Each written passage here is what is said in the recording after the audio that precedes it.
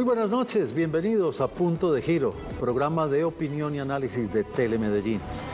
Programa dedicado a tratar temas de impacto, de importancia, temas que cambien la calidad de vida de nuestra comunidad. Y justamente hoy vamos a hablar de un tema fundamental desde ese punto de vista. Vamos a hablar de los avances que ha tenido Medellín hacia la movilidad sostenible. Y de paso miraremos otros aspectos importantes de ese que es uno de los fenómenos más importantes, no para Medellín, sino para cualquier ciudad del mundo. Porque vale la pena recordar que justamente la movilidad va muy ligada a la calidad de vida de los ciudadanos. Y vamos a hablar justamente de uno de esos temas que demuestran, que ratifican el progreso de la ciudad en este aspecto. Vamos a hablar de la inauguración en Medellín del Centro Integrado de Transporte y Tráfico, con el cual se puede monitorear en tiempo real permanentemente el real estado de las vías y la movilidad y que se pudo realizar gracias a un convenio entre Colombia y Corea del Sur.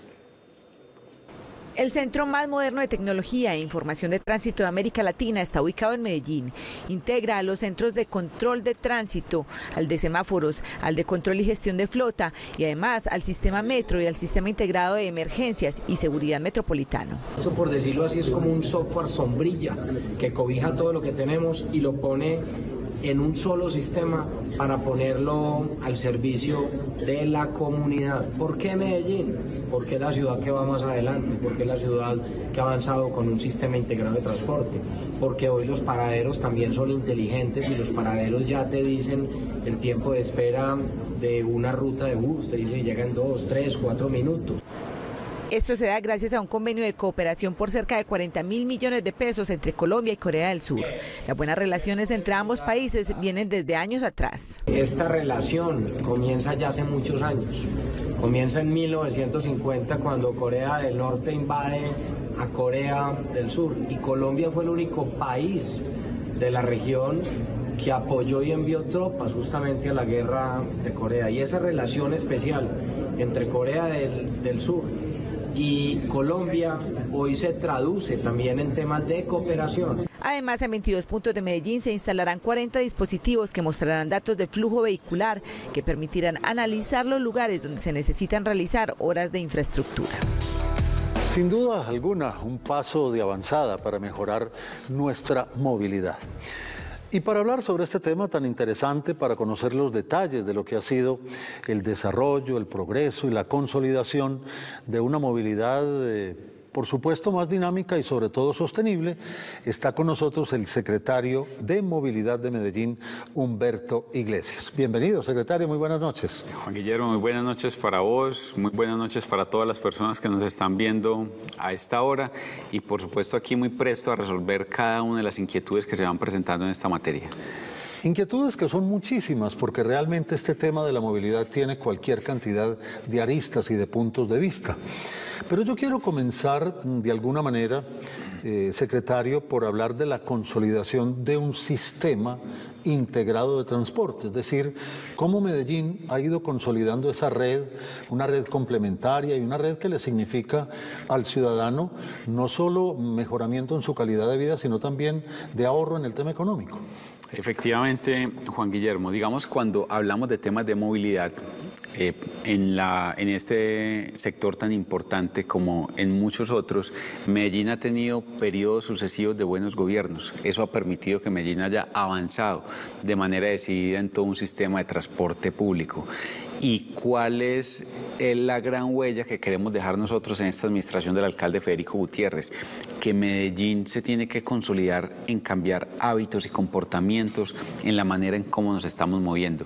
Nosotros hemos tenido como nuestra principal bandera el transporte público y el transporte público desde el metro, nosotros trajimos 22 nuevos trenes a la ciudad desde que arrancó esta administración, el transporte público desde los buses de la ciudad, nosotros arrancamos todo lo que es una renovación de la flota para que las personas pudieran encontrar un mejor destino o un mejor confort a la hora de utilizar estos servicios y hemos renovado casi el 50% de la flota de buses. El tema del tranvía, pusimos en operación el tranvía de Ayacucho por allá en el año 2016 que venía por supuesto la construcción desde la administración anterior. Los cables, ya hoy tenemos cinco cables construidos, uno en construcción que va a estar entregándose en el primer semestre del año 2020, que es el cable Picacho.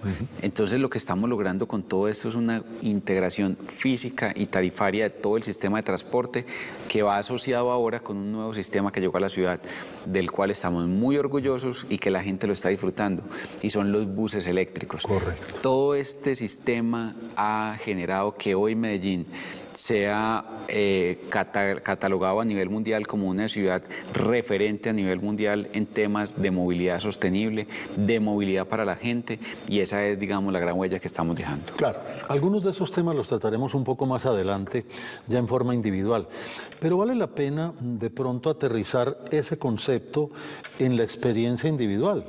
Porque es que hoy una persona, justamente gracias a ese sistema integrado, pues le ha cambiado la vida.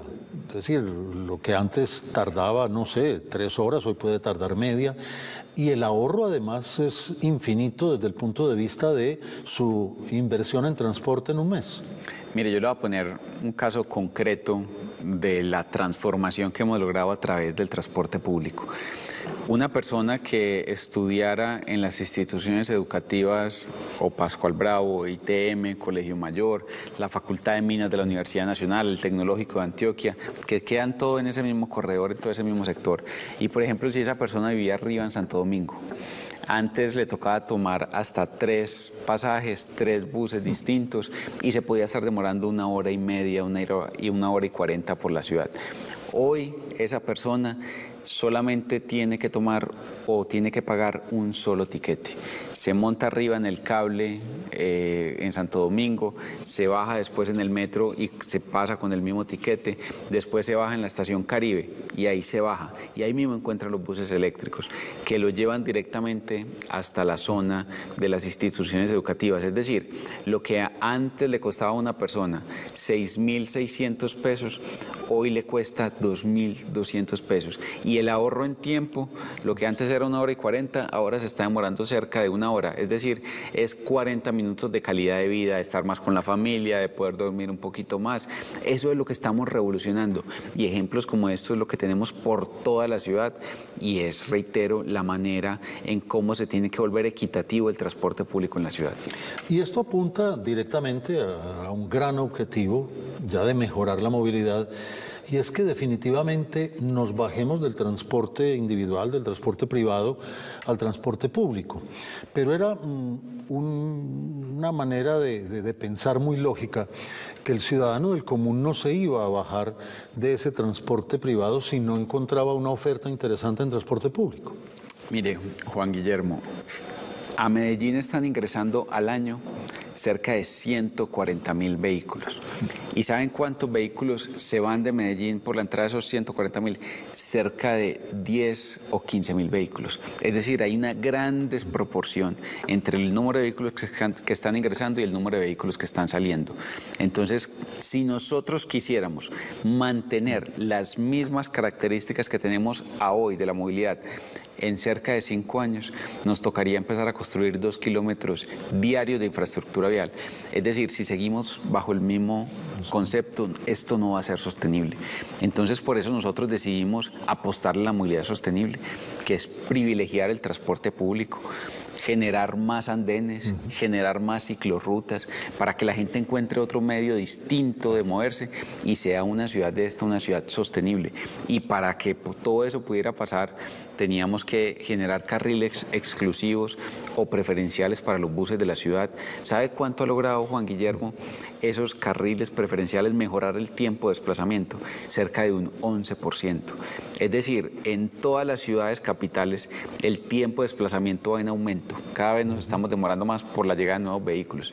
Pero lo que estamos logrando con medidas como las que estamos haciendo en Medellín es entregarle calidad de vida, entregarle tiempo a las personas que utilizan el transporte público.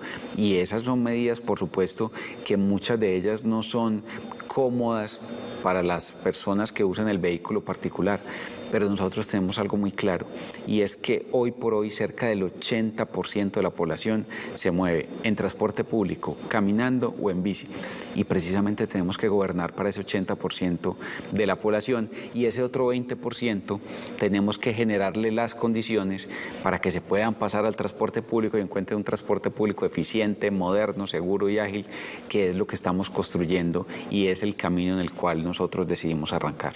Y vale la pena señalar justamente en este aspecto, secretario, que digamos eh, el metro, el Metro Plus, los buses eléctricos, pues obviamente son todos bastante nuevos, pero había un rezago en el transporte público privado, pero también ahí ha habido y se nota a las claras una renovación importante a la cual le falta, pero que ha dado ya pasos de avanzada. Mire, yo aquí tengo que agradecer también al sector privado, a las empresas transportadoras de la ciudad que decidieron sumarse a esta vocación que nosotros traíamos.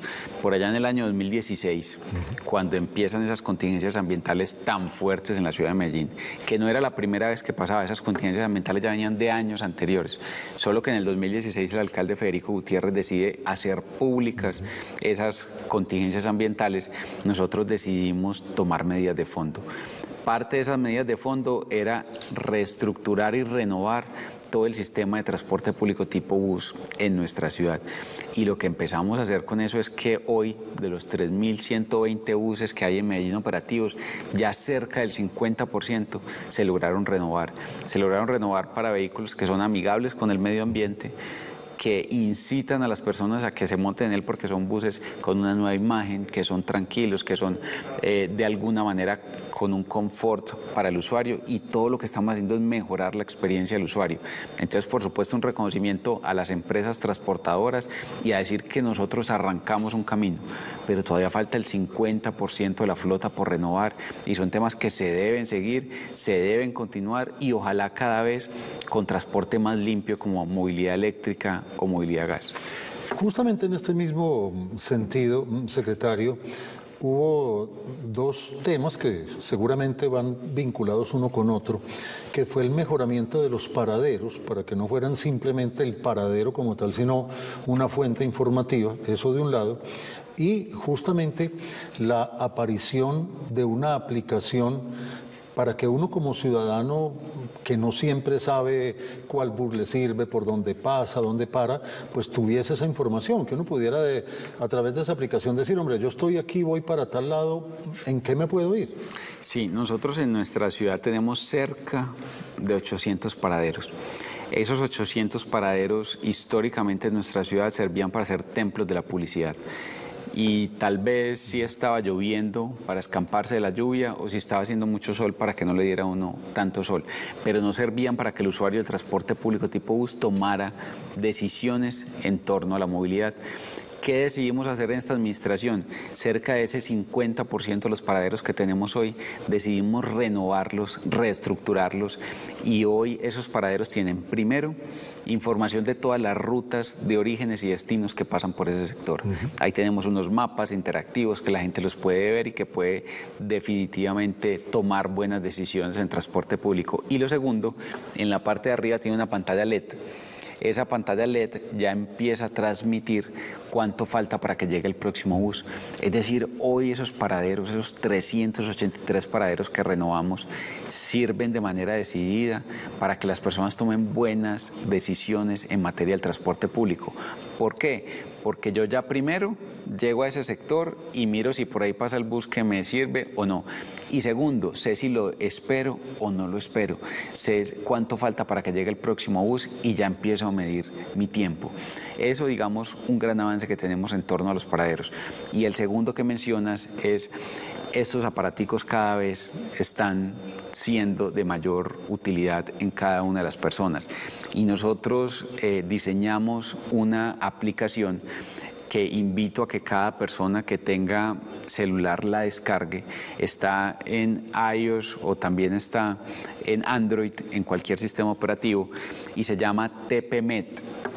Uno llega, descarga TPMet y lo que hace ese TPMet es que uno pone un origen y un destino y le sale cuáles son las rutas que debe tomar uno, eh, cuáles son los buses en los cuales se debe montar, si debe coger primero el bus, después montarse al metro, después al tranvía. Ahí le pone toda la intermodalidad del sistema de transporte público, porque mucha de la gente que no utiliza hoy el sistema de transporte público es por desconocimiento. Y aquí lo que estamos haciendo es diciéndole a las personas en costo y en, y en horario cuáles son las mejores condiciones que tiene que tener. Y algo muy importante que se viene y que esto tiene que seguir también esta misma aplicación, ya como estamos haciendo gestión y control de flota en todos los buses de la ciudad, ya podremos en un futuro empezar a ver cuál es el bus en el que me voy a montar y por dónde va ese bus. Es decir, nosotros estaremos con todas estas aplicaciones y herramientas en el top mundial del sistema de transporte público de las ciudades en vía de desarrollo e incluso de las ciudades desarrolladas. Y justamente quiero eh, conectar este tema con la nota con la cual empezamos el programa, hablando justamente de ese centro integrado de transporte y tráfico. ¿Cómo, cómo encaja esto que estamos hablando con ese nuevo centro?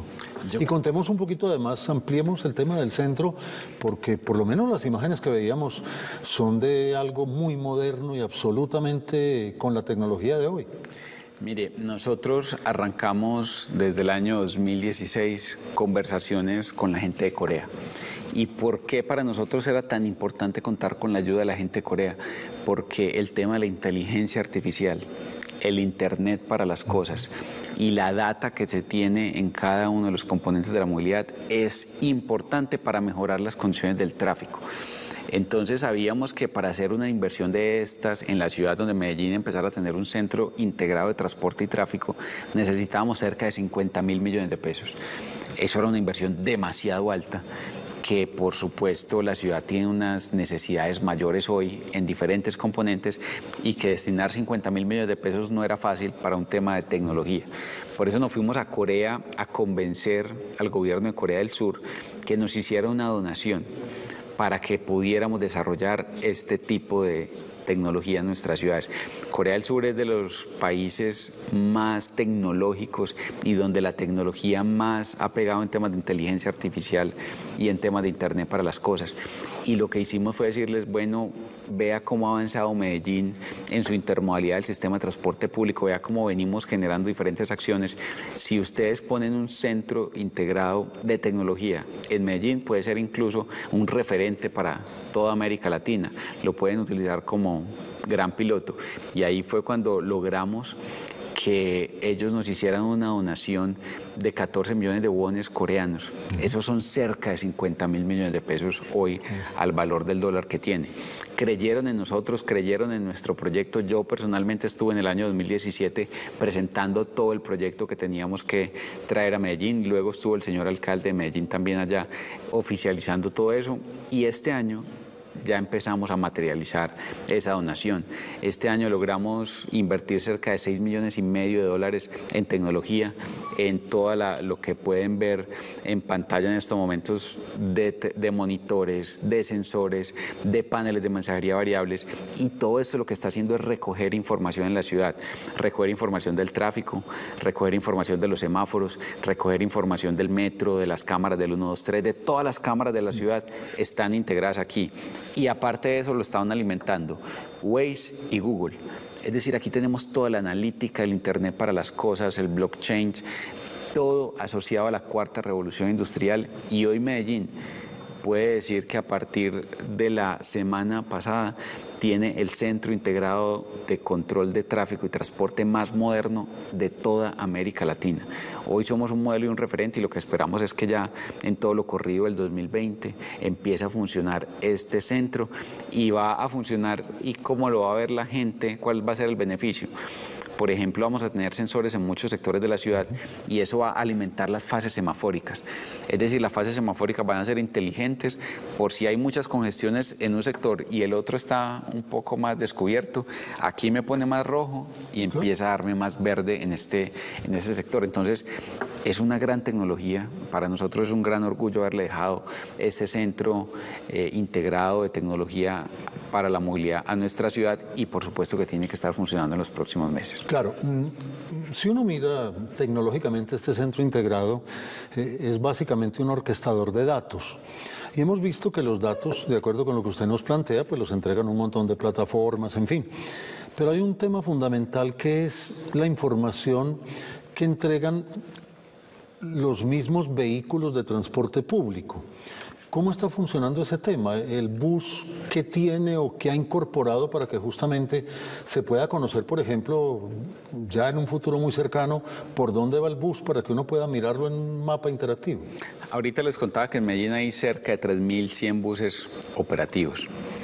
De esos 3.100 buses, 2.504 ya tienen un sistema a bordo. Es decir, cada bus de la ciudad tiene un dispositivo estilo GPS. Ese dispositivo estilo GPS nos está transmitiendo información en tiempo real a la Secretaría de Movilidad y nos está contando a qué velocidad va el bus, si lleva las puertas abiertas o cerradas, si lleva sobrecupo o no, si se está desviando de las rutas autorizadas o está cumpliendo con las rutas autorizadas y si está parando en los paraderos autorizados.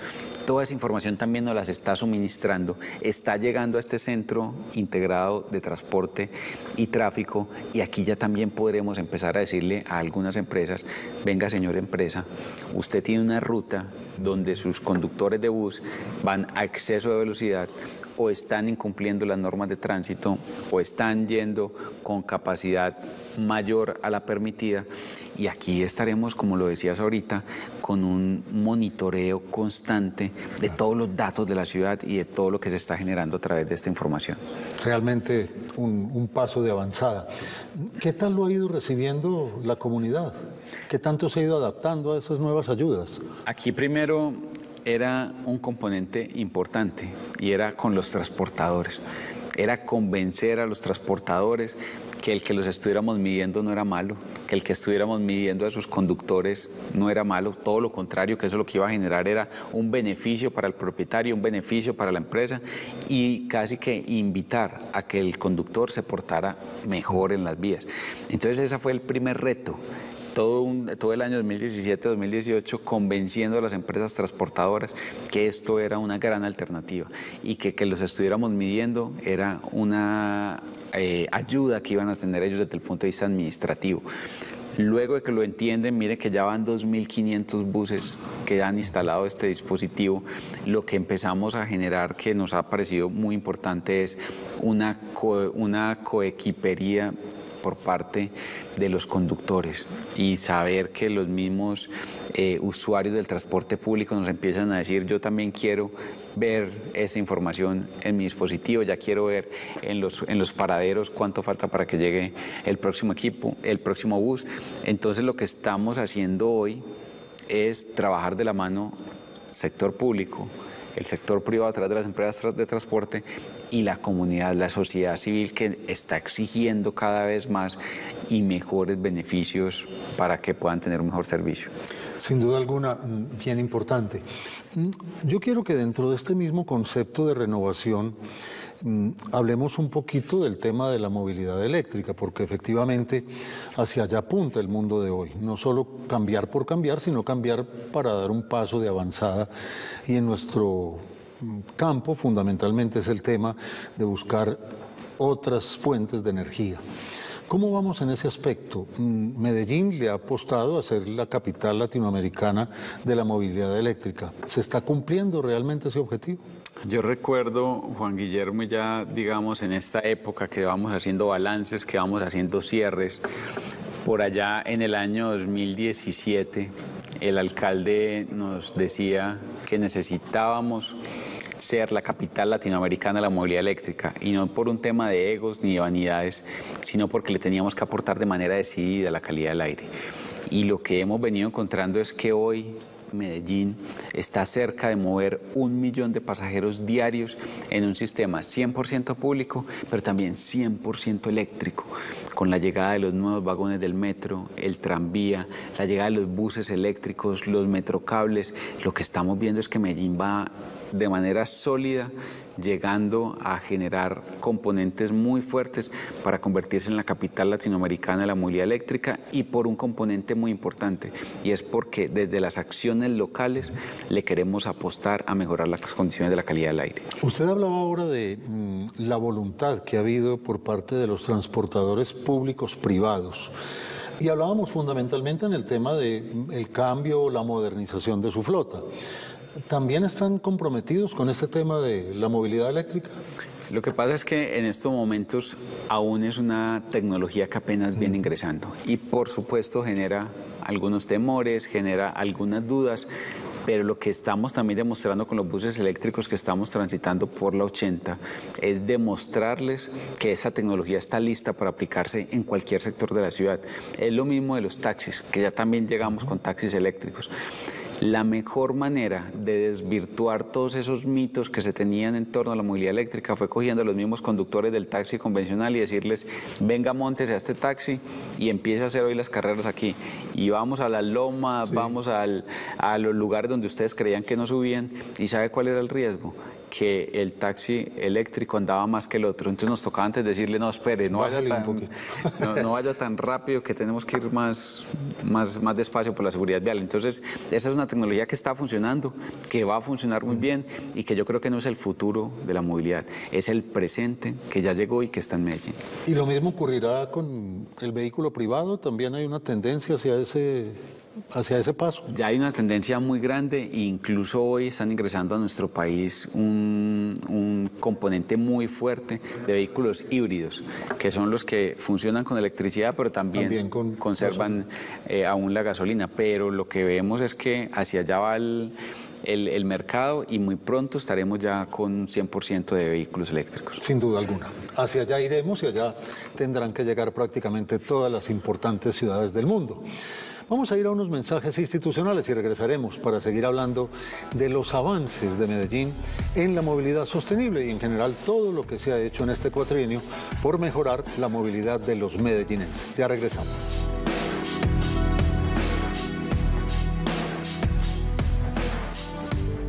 Estás viendo Punto de Giro. Continuamos en Punto de Giro, programa de opinión y análisis de Telemedellín. Hoy estamos hablando sobre la movilidad en Medellín, la movilidad sostenible y en general los esfuerzos que se han hecho por mejorar la manera como nos transportamos aquí en la capital antioqueña. Recuerden que ustedes pueden participar con nosotros a través de las redes sociales, arroba Telemedellín con el hashtag Punto de Giro TM.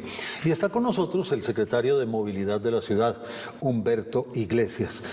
Yo quiero Mm, de acuerdo con lo que veníamos conversando antes del corte, secretario, todo ese tema de la movilidad eh, sostenible, la movilidad eléctrica, contar un poquito de, la experiencia de lo que ha ocurrido en esta primera fase de los buses eléctricos por la 80. ¿Qué tal? ¿Cómo ha salido ese experimento?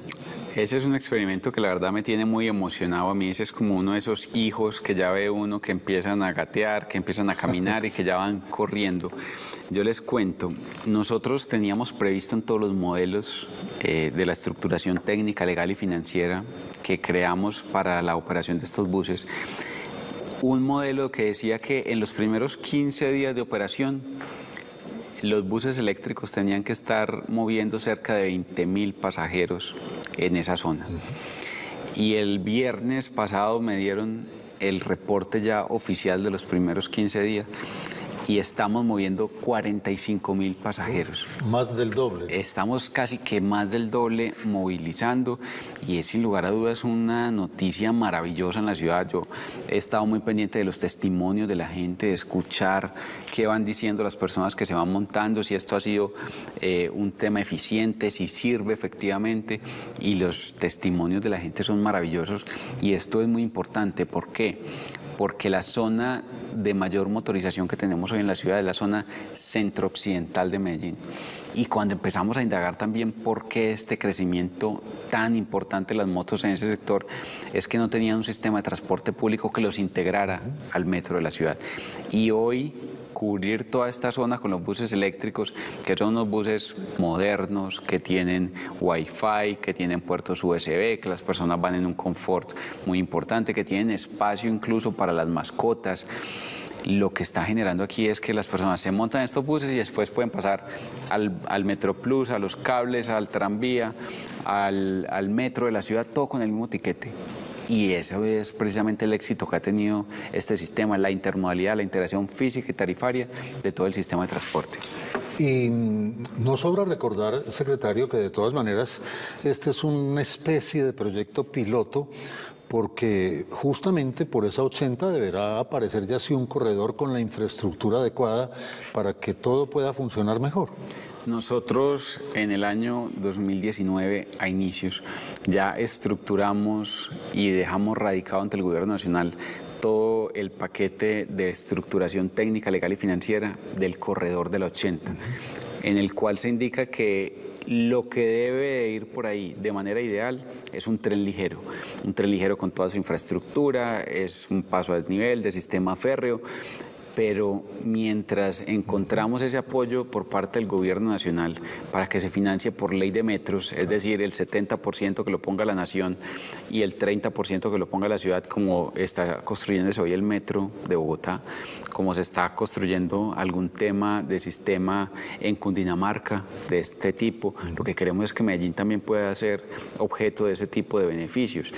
Y mientras esto sucede, mientras se genera esa construcción, desde ya empezamos a testear ese, ese corredor, desde ya lo empezamos a mover, desde ya empezamos a ver qué tiene que pasar con esas rutas de buses para cuando llegue el tren ligero pueda, podamos coger esos buses eléctricos de ahí y ponerlos en otros sectores de la ciudad y empezar a organizar mucho todo el sistema de transporte Claro, público. pues mejor manera de ensayar lo imposible, porque muchas veces se hacen eh, algunas simulaciones. Aquí se está haciendo en la vida real, efectivamente, el testeo de, de ese sistema.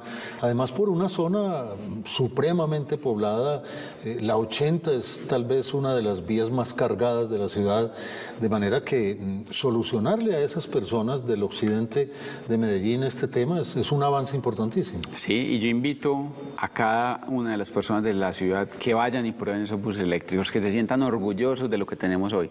Hoy tenemos en la ciudad de Medellín es la flota de buses más grandes pública que hay en el país, la segunda más grande pública que hay en toda Latinoamérica. Entonces nos que sentir muy orgullosos de ellos y vayan, desen una vueltecita por allá.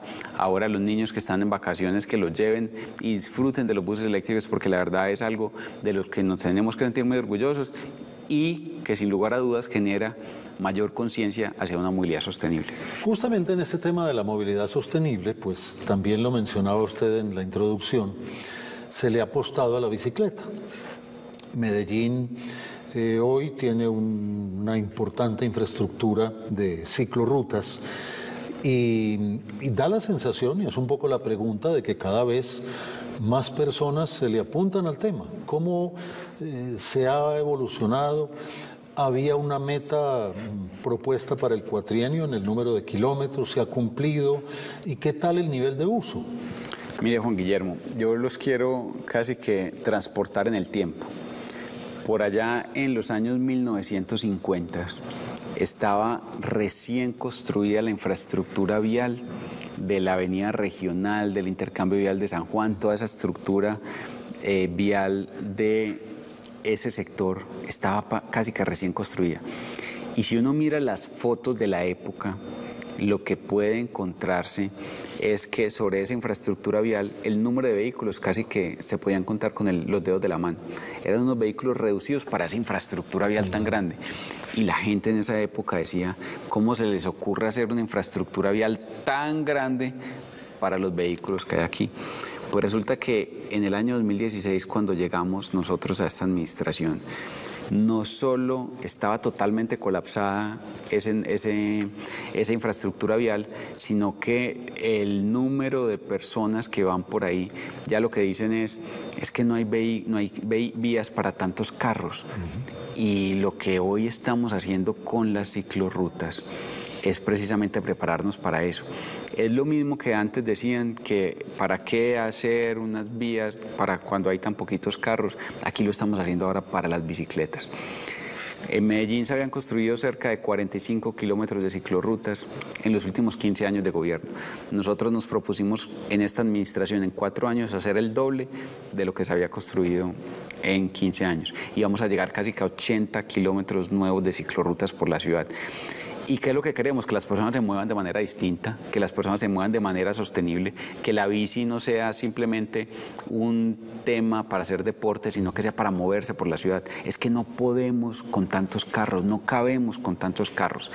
Y hoy mucha gente se pregunta que por qué tantas ciclorrutas, que las ciclorrutas nadie las usa, que era mejor tener vías para los carros y lo que estamos diciendo es no. Aquí estamos tomando decisiones, tal vez que hoy son poco populares, pero que son decisiones de largo plazo y pensando en la sostenibilidad de la ciudad, que lo que estamos logrando es que en esta administración hemos aumentado en un 70% el número de viajes en bicicleta. Mire esta, esta cifra, Juan Guillermo. 70% se ha aumentado el número de viajes en bicicleta, que hubieran podido ser un 70% más de motos, un 70% más de carros. ¿Y cómo estaríamos nosotros hoy en la ciudad si con el incremento que tenemos del parque automotor, al llegar a 1.600.000 vehículos casi, ya nos estamos viendo que casi nos podemos mover? Esa es la importancia de la ciclorruta, esa es la importancia también de los andenes. Nosotros hemos construido 580 mil metros cuadrados de andenes por toda la ciudad. Era increíble que en Medellín teníamos muchos sectores que no había cómo caminar, que no había andenes y lo que estamos generando ahora es una conectividad a través de andenes, de redes camineras, de ciclorrutas y que todo eso conduzca al transporte público y que la gente llegue al transporte público y se mueva de manera distinta pero de manera sostenible. Claro, mm, vale la pena eh, con el tema de la bicicleta hablar un poquito de la manera como las ciclorrutas eh, van generando un sistema único, porque no es la ciclorruta que va de un lugar a otro, pero que está totalmente desligada a otras ciclorrutas. Lo que se ha buscado es que realmente pues haya una interconexión que le permita a uno prácticamente en el Valle de Aburrá ir de un lado a otro sin necesidad de abandonar ciclorrutas. Mm, ¿Cómo ha funcionado ese tema y cómo lograr también que la bicicleta pueda ser complementaria de otros sistemas de transporte? Aquí hay algo muy importante de lo que mencionas y es, nosotros estamos tejiendo una red de ciclorrutas. Y es una red porque lo que queríamos era mejorar y no tener lo que teníamos y era una ciclorruta que no conectaba con nada en un lado, otra ciclorruta que no conectaba con nada en otro lado. Y lo que hicimos aquí fue tejer esa red para que todas se puedan interconectar, que siempre estén interconectadas, por ejemplo, con un centro comercial, con una universidad, con una centralidad importante y lo que siempre generamos era que este diseño tenía que ir y caer en un en una estación del metro, en una estación del Metro Plus, en una estación del sistema de transporte público que genere esa intermodalidad que estás diciendo. Que la última milla la podamos hacer en bicicleta, en patinetas eléctricas o en este tipo de nuevas tecnologías y que los eh, viajes más largos los podamos hacer en transporte público. Y también le estamos diciendo al metro que tiene que construir estaciones de bicicletas en los alrededores del metro, de las estaciones. que uno llegue, deje la bicicleta en la estación y se vaya en el metro y vuelva y la recoja. Exactamente. Eso es lo que tenemos que avanzar. Ya estamos dejando un plan también de expansión del número de parqueaderos de bicicletas del metro y por supuesto es lo que tenemos que seguir consolidando. Claro. Mm, yo quiero volver un poquito a un tema que usted acaba de plantear, que son los andenes y las redes camineras. Porque digamos que cuando uno habla de movilidad, eh, casi que se olvida de que caminar es un medio de transporte. Ese, no, nunca lo consideramos. Hablamos de bicicletas y hablamos de buses y hablamos del metro y del Metro Plus. Pero es que la mayoría de los viajes que se hacen en una ciudad son caminando. La estadística es importante en ese aspecto. Cerca del 30% de los viajes que se hacen en Medellín son caminando. Mire, esa, estadística tan importante. En el mundo, cerca del 40-45% de los viajes que se hacen se hacen caminando. Y es que uno cuando sale del país y empieza a viajar, uno muchos de los recorridos los hace caminando, Juan Guillermo. Y la gente tranquilamente va y camina a pesar de las adversidades del clima. Muchas veces es con un, con un por, cero grados centígrados del, del clima y la gente sale y camina. Está lloviendo y la gente saca su paraguas pero es que la conectividad que también tiene que generar el caminar, el disfrutar la ciudad caminando. Hoy tenemos una ciudad mucho más verde, una ciudad que hoy está muy linda, de la cual nos tenemos que sentir orgullosos, que hay que caminarla también, que hay que conocerla, ojalá tener un centro mucho más caminable. Nosotros pasamos de tener un 30% de espacio público para el peatón en el centro a tener un 70% de espacio público para el peatón. Esto lo que está generando es mayor caminabilidad, mayor espacio público, mayor confort para el peatón. ¿Y por qué mayor eh, confort para el peatón? Porque es que en algún momento todos, todos somos peatones, a todos nos toca salir a caminar, todos tenemos padres, todos tenemos hijos, todos tenemos sobrinos, todos tenemos familiares que quieren salir a disfrutar por la ciudad. Y qué mejor que lo puedan hacer de manera segura a través de los andenes y redes camineras que estamos haciendo. Me sirve justamente esa, esa respuesta para plantear alguna crítica que uno escucha por ahí y es justamente que se han reducido las vías públicas y que entonces ante una situación tan compleja de la movilidad que no cabemos con los vehículos eh, que hay en Medellín, que esa reducción mm, agrava el problema. La respuesta va en esa misma línea de lo que estaba planteando. Efectivamente, miren lo que les decía ahorita, cerca del 30% de los viajes son caminando. Y cerca de un 50% adicional es en transporte público, en bici. Es decir, el 80% de la gente se mueve en estos tres medios de transporte y un 12% tiene vehículo particular. Entonces nosotros por supuesto que tenemos que gobernar y tenemos que tomar acciones, es para la mayor parte de la población, es para que esa mayor parte de la población viaje segura por nuestra ciudad. Entonces sé que ese 12% muchas veces está incómodo, lo sacamos de su zona de confort, no le gusta, que el 88% de la población esté manejándose de otra manera, entonces siempre quedarán unos contentos y otros no tanto. Pero el tema de la seguridad vial, el tema de proteger la vida de las personas y lo que logramos con este tipo de estrategias, Juan Guillermo, es que en el año 2018 tuvimos la mayor reducción de siniestros viales con mortalidad y con lesionados de los últimos 20 años en Medellín. Es decir, si hacemos más andenes, si hacemos más cicloinfraestructuras, si damos más espacio público para el peatón, eso funciona. Y funciona aumentando el número de viajes distintos a vehículo particular, pero también salvando vidas. Y yo creo que cualquier esfuerzo es mínimo si de salvar vidas se sigue tratando. No cabe duda, ese es el mayor bien de cualquier ser humano, el bien de la vida, que es al cual se apunta justamente con este tipo de decisiones que apuntan a mejorar la manera como nos transportamos, pero que sea un mejoramiento, pero un mejoramiento seguro. Unos mensajes institucionales y vamos a regresar a la parte final, a las conclusiones de este planteamiento que se ha hecho hoy aquí en Punto de Gira acerca de los avances de Medellín en el tema de la movilidad sostenible. Ya volvemos.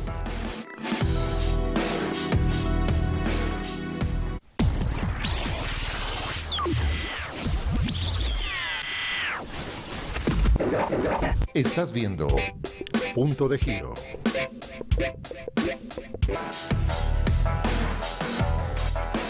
Continuamos en Punto de Giro, programa de opinión y análisis de Telemedellín, siempre ahondando en temas fundamentales, temas realmente de trascendencia para la comunidad. Y el de hoy sí que es trascendente, el tema de la movilidad. No cualquier movilidad, una movilidad sostenible, una movilidad que mejore efectivamente las condiciones de vida de los ciudadanos. Hay un tema muy importante, mm, secretario, que tiene que ver con lo que viene, porque de alguna manera estos cuatro años han sido de un enorme aprendizaje, de un cambio, como ya decíamos, de prioridades, em, pero con las cifras que usted nos entregaba al comienzo del programa, esto es inviable a la vuelta de la esquina. ¿Qué habrá que hacer? ¿Qué han pensado? ¿Qué han visto ustedes que tendrán que hacer futuras administraciones? ¿Por qué decimos nosotros que si seguimos creciendo a este mismo ritmo, esto será inviable? Medellín en los últimos 10 años creció de tener 600 mil vehículos a tener hoy 1.600.000 vehículos. Es decir, crecimos un millón de vehículos en 10 años. ¿Sabe cuánto creció la infraestructura vial? 2.3%. Bueno, ahí está dicho todo. Que aumentaron los tiempos de desplazamiento, claro que aumentaron los tiempos de desplazamiento. Que tenemos más congestiones, por supuesto que tenemos más congestiones, que tenemos un millón de vehículos más para casi que la misma infraestructura vial. Y tenemos unos estudios que nos dicen que si no seguimos cambiando hábitos y comportamientos, en el 2025, eso está a la vuelta de la esquina. Sí. No tendremos un millón seiscientos mil vehículos como tenemos hoy, sino que tendremos dos millones y medio de vehículos. Es decir, esto será insostenible. Por eso la gran importancia de tomar decisiones que aparentemente hoy son poco populares, pero que son sostenibles en el largo y mediano plazo, y son las ciclorrutas, el transporte público y los andenes. Esto lo que va a generar es que cambiemos de hábitos y comportamientos, que nos movamos de una manera distinta y que el incremento acelerado del parque automotor empiece a frenarse. Pero eso tiene que ir acompañado de otras medidas, de medidas como por cobros por congestión en las ciudades, como zonas urbanas de aire protegido, como unos pico y placa que se tienen que ir renovando y que se tienen que ir replanteando. Y esto lo que va a generar también es que una persona empiece a pagar su impuesto de rodamiento por el valor que tenga un vehículo y que el, el, impuesto de rodamiento también empiece a incrementarse un poco más. Esto lo que empieza a hacer es desincentivar el uso del vehículo particular, pero tenemos que tener en esos momentos ya armado y confeccionado todo un paquete de herramientas con un sistema de transporte público ágil, moderno, eficiente y seguro y que la gente encuentre una alternativa importante en él.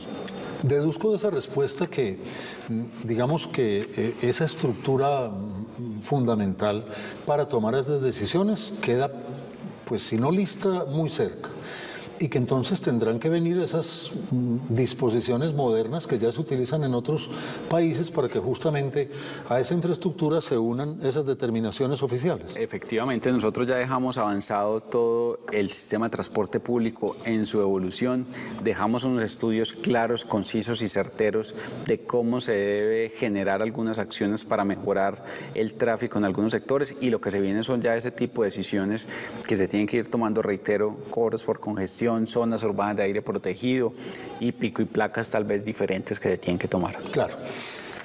Como estamos en tiempo de, balance, secretario, en tiempo de, de, cierres de cuentas, de rendición de cuentas, ¿qué tal la experiencia como secretario de movilidad? Eh, porque es de alguna manera manejar un tema sobre el cual hay muchísimas opiniones de un lado y que es muy eh, susceptible de, tener eh, algún tipo de críticas, algún tipo de cuestionamientos o lo que sea. ¿Qué tal la experiencia? Juan Guillermo, eso es una experiencia apasionante, es una experiencia muy importante en la vida de cualquier persona. Yo creo que esto marca el camino de uno y es una persona antes de ser secretario de movilidad y otra persona totalmente distinta luego de ser secretario de movilidad. Esto desarrolla mucho la inteligencia emocional, uh -huh. desarrolla mucho el carácter, el saber tomar decisiones y yo la verdad me voy muy tranquilo, me voy con la cabeza en alto, pudiendo mirar a todas las personas a los ojos y con algo muy, muy trascendental. Y es que dejamos una huella en esta ciudad donde nos soñamos una movilidad, donde la movilidad no fuera el vehículo particular o la infraestructura vial. Nos soñamos una movilidad y le estamos dejando a esta ciudad una movilidad que sea una movilidad para la gente, una movilidad para la calidad del aire y una movilidad para las futuras generaciones. Mm. Y desde el punto de vista también personal, pues me imagino que hay momentos eh, complejos. Es decir, yo, si me pongo en sus zapatos y en algún momento uno va por la ciudad y ve un taco imposible y eso no se mueve, ¿qué siente uno como secretario de la movilidad en un, en un trancón de alta gama? Son momentos eh, en algunas eh, ocasiones de impotencia, de impotencia de ver muchas cosas que van pasando. Eh, por ejemplo, ahora diciembre y noviembre fue bastante complejo con el tema de las marchas. Entonces se juntan las marchas, las congestiones y había veces que caía el aguacero impresionante. Entonces era como la tormenta perfecta con todas las cosas. Pero ahí es precisamente donde está la inteligencia, la cabeza fría, la inteligencia emocional para saber tomar decisiones, sentarse con el equipo, replantear, analizar y seguir generando acciones en pro de la calidad de vida. ¿Qué lo deja más satisfecho? ¿Qué fue lo que más le gustó? Porque ya hablamos de, esos momentos aburridores de alguna forma y cuáles son los más gratos? El momento más grato es cada vez que podemos transformar realidades de vida, cada vez que vemos testimonios de la gente a la cual le marcamos un hito importante. Yo he visto unos testimonios espectaculares de la accesibilidad de los buses, saber cómo personas con capacidad reducida pueden ingresar ahora los buses de la ciudad, saber cómo logramos salvar vidas a través del urbanismo táctico, a través de eh, toda la infraestructura que estamos generando, saber cómo muchas personas cambiaron su manera de moverse por la ciudad y ya no se mueven en vehículo particular, sino que lo están haciendo en cicla todas estas cosas, todas esas transformaciones son las que finalmente llenan el alma y es la mayor recompensa que puede tener uno como servidor público. Definitivamente, cuando uno mira todos los temas que hemos tratado, secretario, acaba concluyendo que esto fundamentalmente es un tema de cultura sienten que se ha sembrado realmente una semilla muy sólida de cambiar nuestra cultura de movernos en Medellín? Hay dos temas que son fundamentales en este y en muchos componentes, y es la cultura y la educación. Para nosotros, por instrucción del alcalde Federico Gutiérrez, la cultura y la educación son el motor transformador que puede tener cualquier sociedad. Y lo que hemos hecho es sembrar una semilla muy fuerte que nosotros esperamos que esté germinando prontamente para que la gente empiece a cambiar muchos de esos hábitos y comportamientos con convicción y no inducidos por el propio Estado. Hombre, mm, uno ve el problema de, de la ciudad de uno porque es el que tiene cerca y es el que tiene del día a día. Ustedes tienen la posibilidad de mirar muy integralmente el tema de la movilidad en el mundo, porque es que el problema no es nuestro, el problema es en cualquier ciudad que va creciendo. ¿Vamos en la misma línea de cómo se está moviendo el mundo en ese tema? Vamos de manera muy similar. Lo que estoy eh, pensando en este momento es que nuestra ciudad viene aprendiendo muy rápido de los errores que han cometido otros.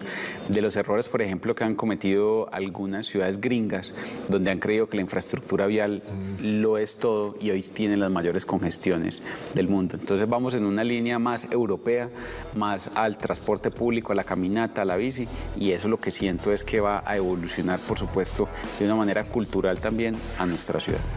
Pues señor secretario de Movilidad de Medellín, Humberto Iglesias, muchísimas gracias por estar esta noche con nosotros por contarnos de este panorama tan completo, integral, para que entendamos efectivamente el fenómeno desde todas las miradas, no simplemente desde una mirada individual o particular, sino entender que la movilidad tiene que beneficiar a toda una comunidad, porque las decisiones de ninguna manera pueden beneficiar a unos pocos, sino a la gran mayoría de quienes nos movemos para una u otra cosa en una ciudad que va ido creciendo y que lógicamente ha ido también creciendo en sus problemas, como es la ciudad de Medellín.